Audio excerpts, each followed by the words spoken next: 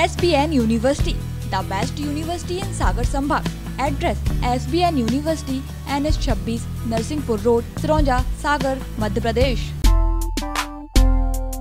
जबलपुर के कुंडम ग्राम सजारी में हुए युवती के मर्डर के मामले में पुलिस ने खुलासा कर दिया है। उसके प्रेमी ने ही उसका गला घोटकर और सिर पर पत्थर पटक कर इस वारदात को अंजाम दिया था। जो अब पुलिस की हिरासत में है। उल्लेखनीय है कि कुंडम थाना में एक युवती की डेड बॉडी पड़ी होने की सूचना मिली थी। मौके पर पहुँची पुलिस को युवती की माँ सावित्री बाई विश्वकर्मा ने बताया था कि 9 तारीख की रात उसकी बेटी सुमन विश्वकर्मा घर के दूसरे कमरे में सोने गई थी। अगली सुबह उसकी बॉडी एक पेड़ के नीचे खून से लथपथ पड़ी मिली।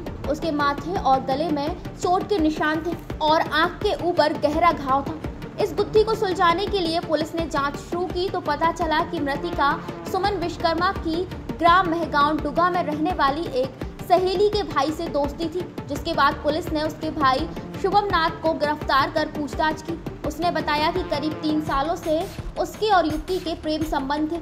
वह विवाह के लिए उस पर दबाव बना रहा था, लेकिन उसने कहीं और शादी कर ली थी। रात के समय सुमन विश्वकर्मा ने शुभम नाथ को बात करने के लिए बुलाया। वह मोटरसाइकिल से रात करीब 12 बजे सुमन के घर के पीछे मिलने पहुँचा, जहाँ बातचीत के दौरान सुमन उससे शादी के लिए दबाव बनाने लगी। तो उसने गुस्से में आकर उसका गला घोट दिया और पास ही पड़े पत्थर को उठाकर उसके सिर में दे मारा, जिससे उसकी जान चली गई और इसके बाद वह फरार हो गया था।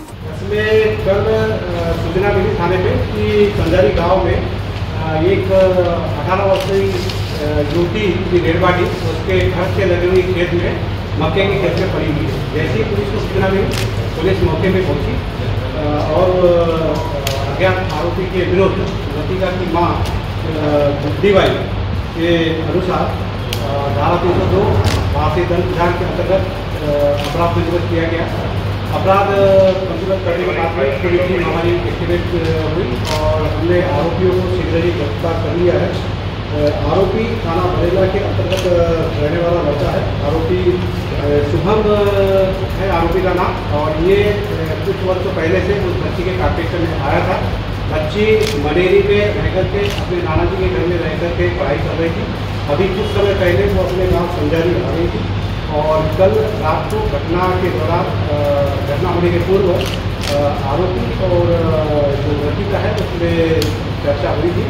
और इसमें जो हमको संदेह डाउट्स थे उसके आधार पे हमने कंटिन्यू इसका इन्वेस्टिगेशन किया और इन ट्वेंटी फोर आवर्स हमने आरोपी को राउंड अप कर दिया। ये क्या वजह क्या सामने आई है? किस लिए इसमें अभी प्राइमरी रूप से ये रीजन समझ में आया है कि लड़का की शादी अभी कुछ महीने पहले ही हुई थी और ये क्योंकि जो लड़की का है इसका संबंध पहले से आरोपी से था और वो उसके पारिवारिक जीवन में आरोपी के पारिवारिक जीवन में दिक्कतें आ रही थी इस वजह से उसने इस लड़की को ध्यान रखा कैसे उसने पहुँचा कैसे वहाँ पे वारदात के दिन क्या बात हुई? अभी जो हमने इन्वेस्टिगेशन में हमको जो एविडेंस मिले उसके आधार पर पहले इससे बातचीत होती रही है उसके बाद में मोटरसाइकिल से वहाँ पर पहुँचा था। क्योंकि घटना दिनांक की रात में वहाँ पे गणपति का कार्यक्रम भी चल रहा था। और बाहर शोर शराबा था और इसी शोर शराबा का इन्होंने फ़ायदा उठाया है। बाइक इसलिए अपनी पूरी आगे खड़ी कर दी थी और उसके बाद में ये उनके जो आपस में चर्चा हुई थी उसके अनुसार ये खेत में पहुँचा था और उसके बाद में वहाँ पे लड़की पहुँची उसको जो बातचीत हुई उसके बाद ये अगले दिन जब मौके को सूचना मिली, मौके पर पहुँचे, वहाँ पे बच्ची की थी उसके आधार पर हमने सारा डिटेल का खुलासा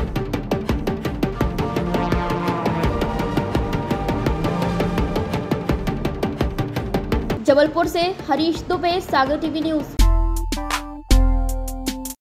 स्वामी विवेकानंद विश्वविद्यालय सागर।